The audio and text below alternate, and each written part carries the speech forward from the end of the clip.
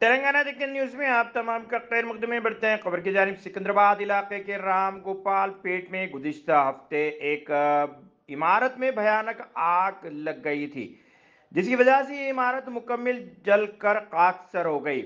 बताया गया कि इस इमारत को ढाने के इंतज़ाम किए गए। इस सिलसिले में एहतियाती इकदाम के तहत अतराफ में रहने वाले लोगों के मकान भी खाली करवाए गए।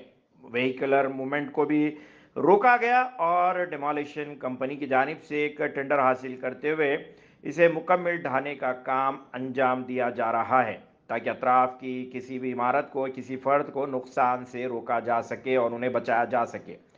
अगर अभी तक आपने चैनल को सब्सक्राइब नहीं किया तो फौरी कर लें आलमी मुल्क रियासती मुकामी खबरों के लिए देखते रहिए आपका अपना चैनल तेलंगाना दक्कन न्यूज़।